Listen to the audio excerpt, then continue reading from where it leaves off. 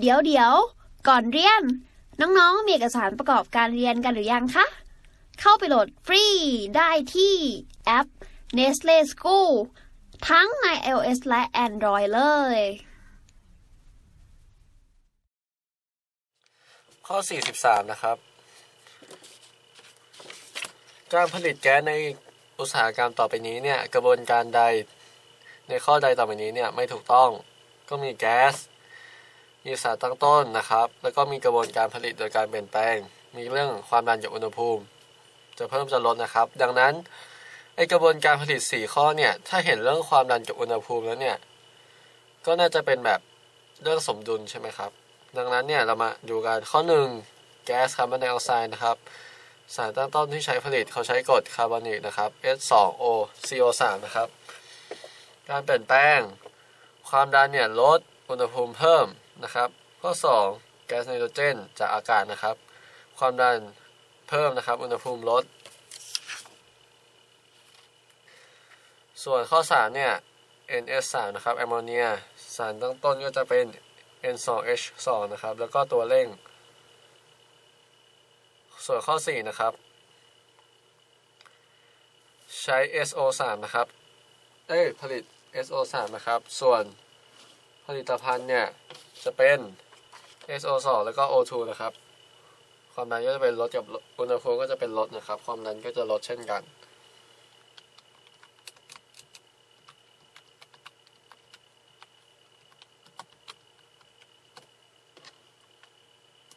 อ่าเดี๋ยวพี่จะให้น้องดูนะครับ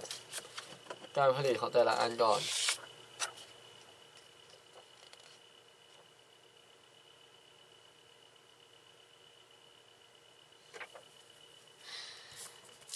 นะครับ มาดูข้อหนึ่งกัน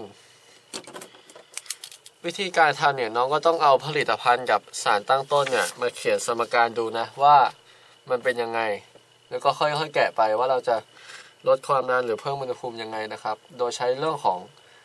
สมดุลเนี่ยมาเกี่ยวข้องนะครับ ก็ข้อหนึ่งนะครับ เขาจะผลิต คาร์บอนไดออกไซด์โดยใช้สารตั้งต้นเนี่ย H2CO3 นะครับ ดังนั้นเนี่ยเราลองเขียนกันดู H2CO3 นะครับ เป็นกรดลิควิดได้คาร์บอนไดออกไซด์เป็นแก๊ส อีกตัวหนึ่งน่าจะเป็นอะไรนะครับ H2O ใช่ไหม ก็ดูสมการเอา นะครับ ไม่ต้องดูเพราะว่า มันตรงอยู่แล้ว ดังนั้นเนี่ยไอเรื่องสมดุลความดันนะครับ เราจะมาดูเรื่อง อันนี้ข้อนี้ต้องใช้ความรู้เรื่องของสมดุลนะครับ ความดันเราจะคิดแค่แก๊สใช่ไหมดังนั้นเนี่ย ตัวนี้เนี่ย ไม่ต้องคิด ถ้าเราต้องการไอตัวคาร์บอนไดออกไซด์เพิ่ม มากๆเนี่ยเราต้องทำยังไงครับ ดูสมรสิทธิ์นะ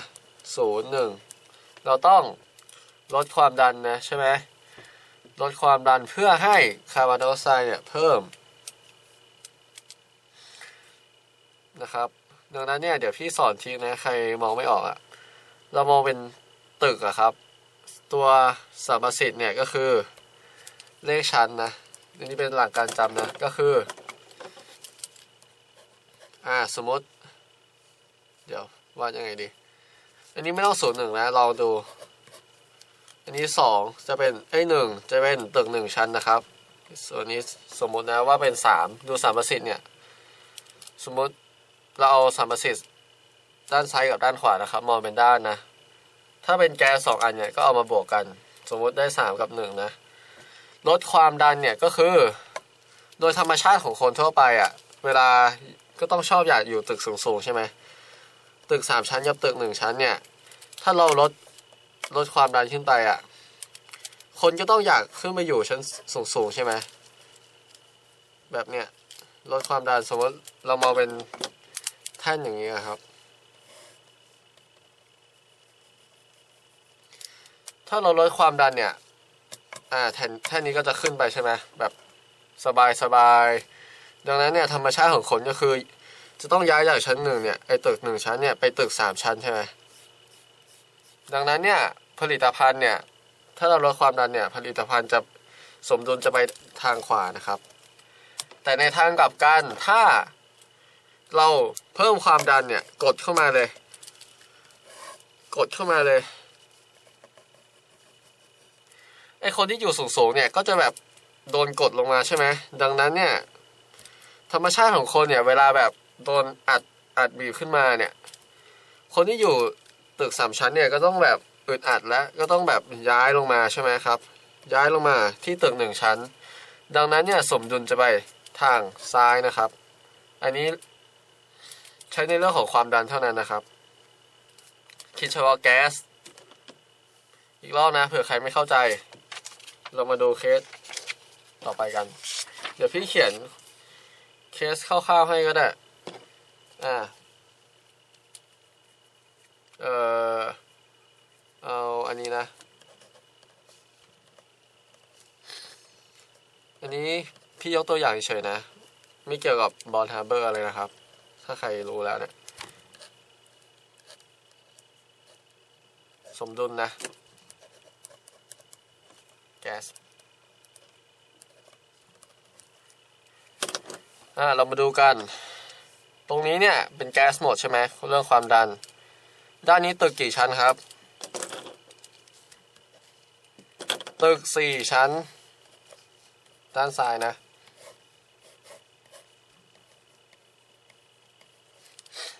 ส่วนด้านขวาเนี่ยเป็นตึกสองชั้นนะครับ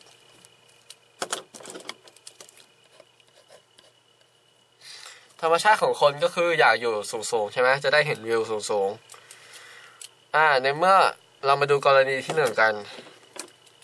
กรณีลดความดันหรือเพิ่มปริมาตร เวลาเราลดความดันเนี่ยไอ้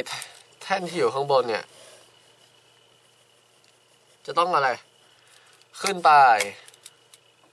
ดังนั้นเนี่ยธรรมชาติของคนก็คือแบบ เวลาไม่มีแท่นมากดดันแล้วเนี่ย ก็ต้องอยากไปอยู่สูงๆใช่ไหมดังนั้นเนี่ย สมดุลจะเริ่มไปทางซ้าย คนที่อยู่ตรงนี้ก็อยากอยากขึ้นมาอยู่ตรงนี้ใช่ไหม อยากดูวิวสูง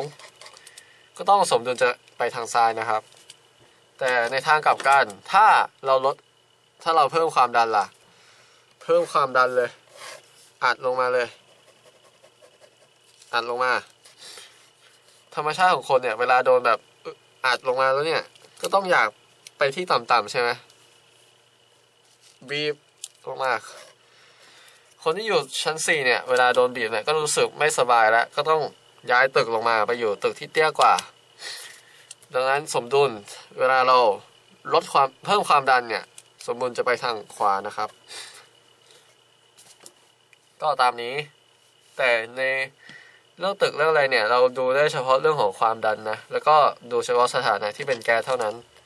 ถ้าไม่ใช่แก๊สเราจะไม่คิดใช่ไหมนะครับ อ่าเรากลับมาที่โจทย์นะครับ ถึงไหนละดังนั้นข้อหนึ่งเนี่ย วิธีการอยากให้สมดุลไปทางขวานี่ก็คืออะไร ลดความดันใช่ไหมเพราะว่าอยากไปตึกสูงๆดังนั้น ข้อหนึ่งเนี่ยลดความดัน ส่วนอุณหภูมิเนี่ยเพิ่มใช่ไหมเพราะว่าที่เราเรียนมาแล้วเนี่ยอุณหภูมิเนี่ยไม่ว่าจะไม่ว่าระบบจะคายหรือดูดความร้อนเนี่ย การเพิ่มอุณหภูมิอะจะทำเป็นการเร่งปฏิกิริยาเสมอใช่ไหมดังนั้นข้อหนึ่งถูกต้องนะครับ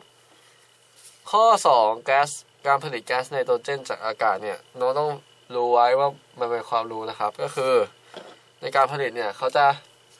ทำให้ไนโตรไอแก๊สไนโตรเจนเนี่ยอยู่ในสภาวะของเหลวที่มีอุณหภูมิติดลบ ดังนั้นอุณหภูมิไม่ต้องลดใช่ไหมแล้วเขาก็จะแบบอัดความดันเข้าไปครับ เพื่อ ให้ผลิตแก๊สออกซิเจน ดังนั้น ความดันเนี่ยจะเพิ่มเพิ่มความดันนะครับ ดังนั้นข้อหนึ่งกับข้อสองถูกต้อง ส่วนข้อสามเนี่ย NH สามใช้ผลิตจาก N สอง S สองแล้วก็ใช้ตัวเลขนะครับ เรามาเขียนปฏิกิริยากัน การผลิต N NH 3จาก n 2 h 2นะครับ ก็ดุลสมการเอาตรงนี้ 2 ดังนั้นตรงนี้ต้อง เพิ่ม อะไร เอ้ยเพิ่มกี่ตัวสองตัวใช่ไหมเดี๋ยวมีตัวเร่ง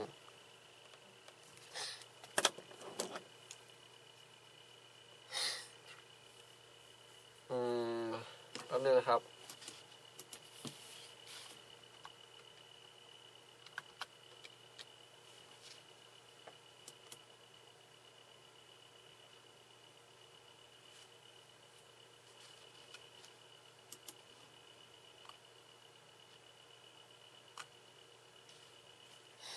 ไอตัวนี้เนี่ย n 2 h 2 เนี่ย เราเขาจะอ่านว่า ชื่อว่าดีมีนะ เป็นแก๊สสีเหลืองนะครับ แสดงว่า n 2 h 2 เนี่ยเป็นแก๊ส ไอตัวนี้ก็เป็นแก๊ส n s 3 แอมโมเนียก็เป็นแก๊สนะครับ ดังนั้นเรามาดูตึกกัน ด้านซ้ายเนี่ยตึกกี่ชั้นครับสามชั้น ส่วนด้านขวาตึกกี่ชั้นครับสองชั้นนะครับ ถ้าเราอยากได้อยากให้สมดุลไปทางขวาเนี่ย เพราะว่าเราต้องการตัวนี้เนี่ย เราจะต้องทำยังไง ต้องเพิ่มใช่ไหมเพิ่มความดัน สมมติเป็นแผ่นนะ เราจะต้องอัดแผ่นลงมาเพื่อเพิ่มความดันใช่ไหมเพื่อให้คนที่อยู่ตึกนี้เนี่ยรู้สึกอึดอัดอะ่ะแล้วเขาก็จะย้ายลงมาที่ตึก สองชั้น ดันลงมา ดังนั้นวิธีการที่เราอยากได้แก๊สแอมโมเนียเยอะๆ เราต้องเพิ่มความดัน เพื่อให้คนที่อยู่ตึกสามชั้นเนี่ยอึดอัด แล้วย้ายมาที่ตึกสองชั้นนะครับ ดังนั้นข้อสามเนี่ย ความดันเพิ่มถูกต้อง อุณหภูมิก็ต้องเพิ่มนะครับ โอเค ส่วนข้อ 4 นะครับ ผลิต SO3 นะครับ จาก SO2 และ O2 นะครับ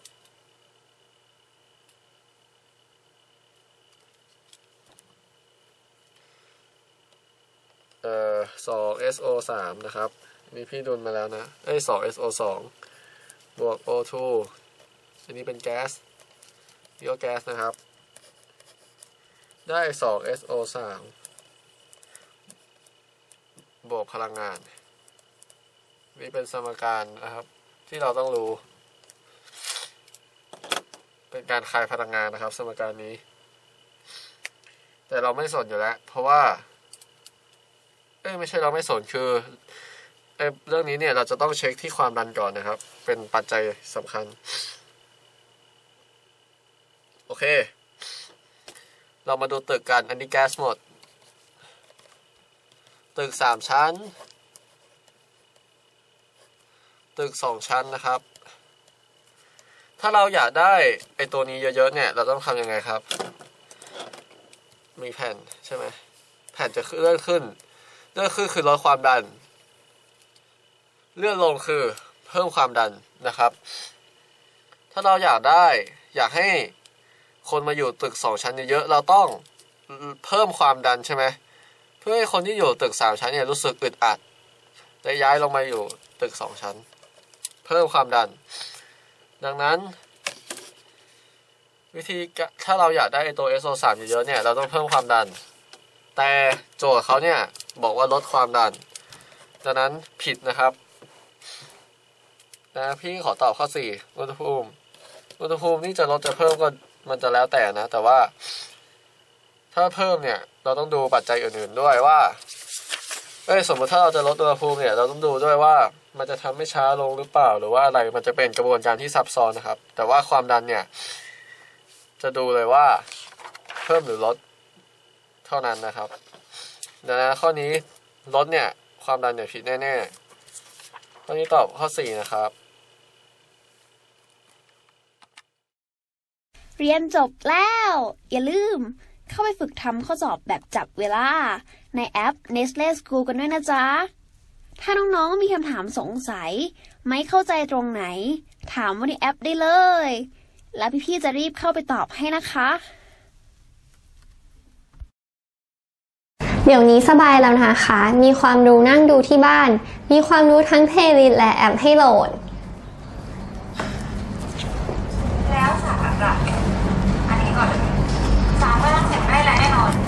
สามไม่ต้องเสียงได้แล้วแน่นอนอืมไอติมก็อร่อย